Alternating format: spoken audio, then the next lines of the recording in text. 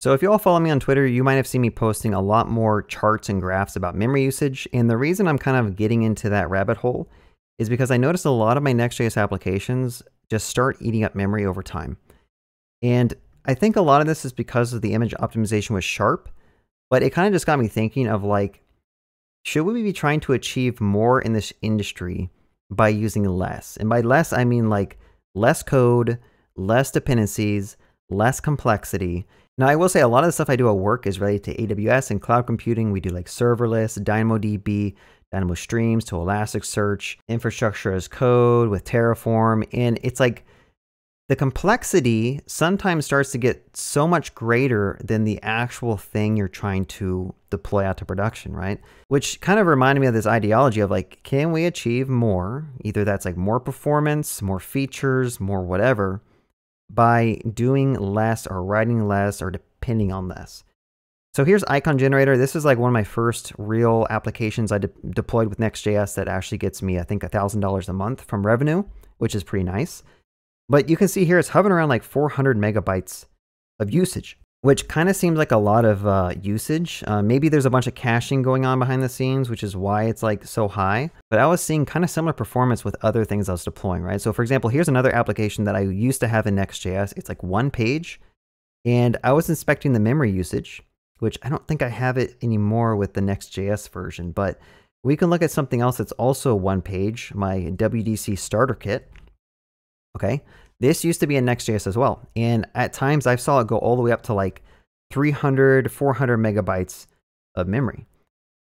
And it just kind of got me thinking of like, why is it that a single static page needs so much memory? Because it really shouldn't. And so what I did is I refactored the starter kit to instead use Hono. And then also I have another application that I kind of worked on. This used to be in Next.js as well. Saw the same things where like the memory usage just kept getting higher. I refactored this, use Hono and Bun, okay? So let's kind of look at the difference, right? So this is now hovering about 150. What you're looking at right here is the Hono implementation, I'm pretty sure. And if we go over to Knowles Glass with Node, let's look at the memory usage of this, hovering around 105. Granted, there's not much traffic hitting this site at all, but this is better. It's not great. I mean, I still think this is quite a lot of memory usage for a single application with very, very little traffic. Here's Bun. You can see that when I first deploy it, it's like 44 megs. And then again, that just slowly starts climbing and climbing and climbing. And then I did a deployment. That went back down to something lower, and then it starts climbing and climbing and climbing. And granted, in the grand scheme of things, like Railway only charges you like not that much money for like memory usage. But overall, when I have like this many projects deployed out and all of them slowly start creeping up in memory usage, either because it's like a garbage collection issue or there's memory leaks inside of Next.js or inside of the services. I don't know if Bun's production ready or not. It just got me thinking of like, why not just do something else? Why not just use Go? Use Rust, use C. If this is the state with JavaScript, um, like why not just use something that's actually like performant from out of the box? So some of the investigation I've been kind of looking into is using Go. Go is another thing that I've used on my channel a couple times. I kind of just played around with it, but now I'm at the point where I actually might go more uh, all in on Go at this point. Now, granted, I just released a starter kit that uses Next.js, and I still think Next.js is a great way of like you're a solopreneur or small team, you just need to get something out there. Yeah, you can move very, very fast with Next.js. And I would still probably, if someone came to me and said, hey, I need something built, I would probably use Next.js. But in the grand scheme of things, I think we need to have a, a philosophy or a mindset change a little bit and try to achieve more with less. So let's look at the project that I refactored to Go. And I believe it's called, um, if I go to the promo site, I have two implementations of a mailing list. Okay, so one is in Go and Fiber, and one is in Bun and Hono. So let's look at the Bun and Hono one. If you go over here, this is eating up 150 megabytes of memory for a very, very simple page where uh, literally I'm seeing this across the board. So maybe this is a Railway issue. Maybe Railway has overhead to your services. But Let's look at the Go and Fiber implementation. You're going to be blown away. This is using 11 megabytes of memory. When I first deploy it, it uses 6, and then it goes up to 11 megabytes of memory, which is good because A, how much do I get charged for running a service that's 11 megabytes of memory? I get charged pennies on Railway. Versus Bun and Hono, I'm going to get charged more. Now, secondly, the code between the Go implementation and the Bun implementation is very similar, right? There's like, it's almost like the same code, just written in different syntax. And so if you are trying to get more performance by writing the same code, why wouldn't you just do that? Okay, so that's kind of like what I'm doing here. And yeah, I mean, it's, it's great. Now, you can even get this lower. People keep saying that I should be using the standard library in Go instead of Fiber. But the point is, is like you're able to achieve this type of performance in this low memory usage out of the box with not even having to thinking about caching. Like I'm not caching anything. Like I don't even have to think about CDN or caching or any uh, optimizations. Like this literally just doesn't use memory on your machine. But let's be honest, I think the Go implementation could probably serve a lot more requests per second than anything in the Node or JavaScript ecosystem. So now that I have you hooked with this very obvious like argument of why you should probably just use Go, I mean like look at this, I'll even zoom in for you. Look how nice that is, six megabytes. The other argument for Go is that you can basically achieve a fully functioning REST API with bringing in no external dependencies. Okay? You can just use the things that are built into the Go standard library and build out a REST API. Now, granted, with Bun and Hono, I mean, you don't have that many dependencies, but again, you're like depending on Bun, which in my opinion, it's it's too early to like really adopt it. I'm sure it has like underlying issues, and honestly, I think it just needs more time to cook. Um, I would probably still use Node on anything serious, but on side projects, you just want it to be fast. Yeah, I mean, probably use Bun and Hono. But again, like, look at this comparison. You might not care, and I think that's the point I'm trying to drive at is you should care. The same amount of code in terms of developer experience. In fact, I think Go actually has a really good developer experience. Like you literally can just like save a file. It auto formats for you automatically. You don't have to install Prettier. Again, doing more with less. It's built into the Go standard library, like format stuff for you already. Bringing in these packages, you don't have to like right click on anything and say import. Go will just automatically import stuff when you save files. Some things that are built into the box that you're not going to have with Next.js is channels. So if you have used Node, you'll notice that if you have a longer running thing that really eats into CPU time, it's going to block the entire thread in Node.js. So if you imagine you have like a for loop inside like a backend endpoint that does like a million records, that has to loop through a million records, you're potentially going to block every single request from hitting your Node API. Is that something that you actually want to think about? Probably not, right? With Go, you have channels, and channels basically spin things up and run them in their own threads.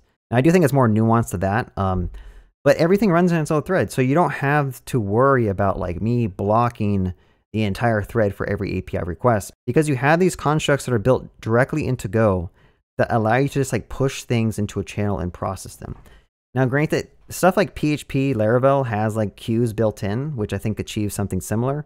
Elixir and Erlang is also really great with that type of stuff. Another thing I want to show you is if you've ever deployed Node.js to production, in particular to like serverless, most of the times they're bringing in like esbuild so they can bundle your Node application, like actually bundle your API code and get that deployed out so it's not as large. So again, you're bringing in more external things that are not baked into JavaScript or TypeScript itself, just so that you can get this stuff running on AWS, which I think is a code smell. I think it's a smell with the design of the ecosystem with TypeScript, with JavaScript. And instead, let me just show you this, this Docker file, okay? I have this Docker file which runs through, it builds up this Go binary. And again, when Go finishes running, it just gives you one single binary with all the code that's necessary inside of that binary. Okay, so with this multi-stage Docker file, I build a Go binary and I also have like my public assets. And then I create a Docker image from scratch. Scratch, if you don't know what the scratch is, is basically an image that has nothing on it. So it's like zero bytes. It's, it's super small, super performant. And so I can just grab that node binary and my public assets and put them in this empty Docker image and then run that binary. And at the end of this, like when you actually build this, we're talking like maybe a megabyte or less of how big this image is because it only contains those two things, which is nice because this is literally built into Go. It compiles your code into a single executable, which in Node.js, like I'm just tired of like having to deal with esbuild. I'm tired of dealing with Webpack, and then at some point it was using like Snow build or Snowpack, and then we started using like Grunt and Gulp. It's just a never ending cycle of like BS, dare I say, that to basically cover up the smells of the ecosystem versus I think Go was just designed from the get go of like, this is good engineering. And by the way, I do want to point out that I have a Next.js starter kit. If you do still want to use Next.js, even though I've been bashing the entire ecosystem, where I'm basically making videos to walk you through all of the code base of the starter kit. The starter kit is all free MIT, um, but I do plan to make a bunch of videos to explain this code base. Um, again, no hate towards Next.js. I have actually made some decent money using Next.js, so I'm not going to write it off. But I just wanted to give that little plug right there, um, since you're still listening, hopefully. Now, I think another thing that really triggered my mindset change a little bit was HTMX. I, I know HTMX seems like a meme, but the more you think about it, like the fact that if you write Go and you can achieve this much performance increase by just switching to Go, you are going to take a hit in terms of your client side interactivity. And if you end up having to pull in Vue or Svelte or React or Next or whatever to achieve client side functionality, it just doesn't feel right. Now, one of the things that makes HTMX so appealing, again, is that all the heavy lifting and power of Go can generate your templates and send them over from the back end to the front end. Now, this isn't new. I mean, we've been doing this forever in the industry. But the idea is that like, can you achieve more with less? Can you achieve the same or close to the same front end client side functionality without having to write any JavaScript at all?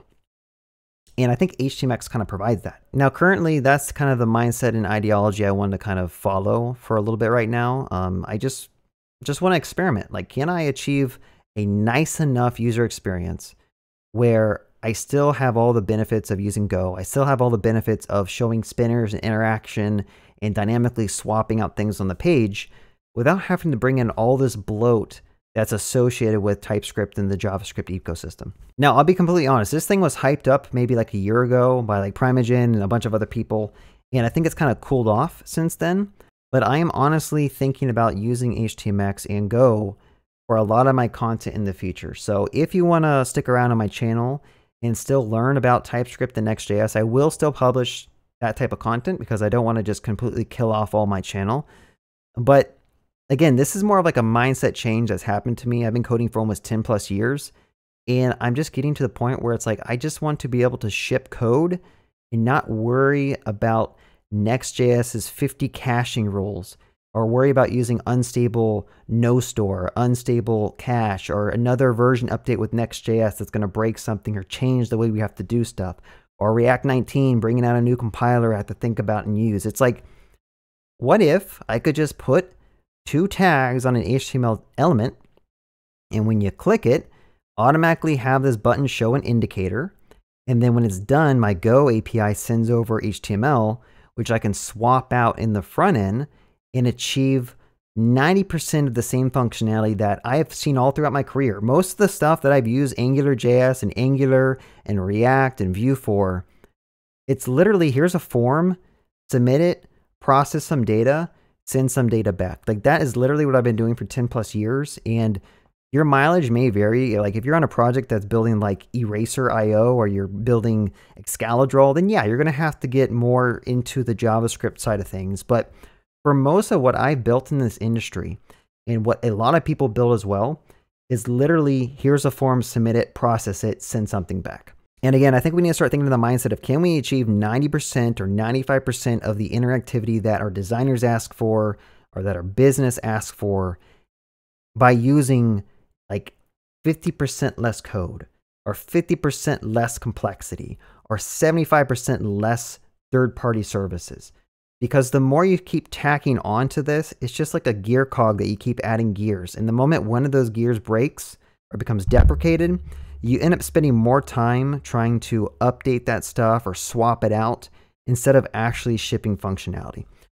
So that's my talk. Um, again, don't be scared. I'm still going to make Next.js content. I have like two legit projects using Next.js, so I'm not going to just abandon them. Like like Project Planner AI, completely written with Next.js. So yeah, I'm not going to just abandon it. But I just wanted to kind of put that idea into your head, especially if you're like a beginner, to have that mindset. Can you achieve the same functionality with using less dependencies, using less memory, using less complexity, less third party services, less cloud providers, and still achieve what you need. Okay. Have a good day. Happy coding.